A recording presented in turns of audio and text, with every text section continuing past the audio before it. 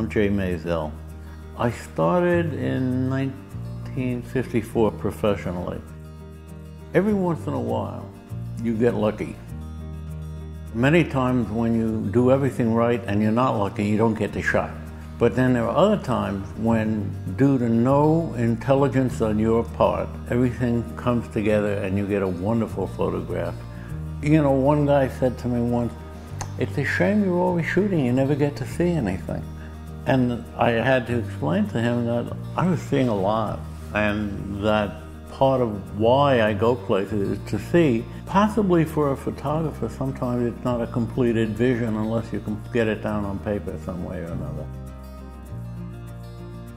One of the things that upsets a lot of young photographers, they would see something wonderful and they couldn't get it. And I would say, don't berate yourself.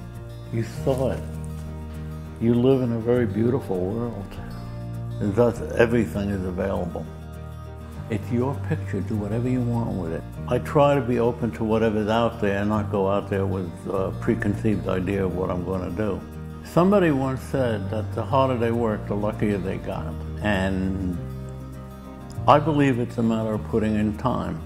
Put it this way if you decide that you're going to shoot a red umbrella held by a girl wearing a blue dress, you're going to be looking all day for that, and you're going to miss everything that's around. Don't be bound by any rules. There are no rules. I mean, that's rule number one. When I see a piece of work that needs a lot of explanation, I already have doubts. I always wanted to do a book called Hey Look, because that's what you say when you're walking around, you see something with somebody you're walking with, hey, look at that, my God, that's incredible.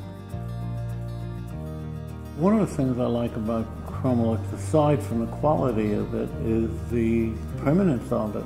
Of all the things I've come in contact with, this is the only thing I know that you don't have to treat with kid gloves. The ChromaLuxe will be available, not just to me, but for other people after I'm gone. You know, the, the old advice, Find something you love to do and you'll never have to work a day in your life. I love that one.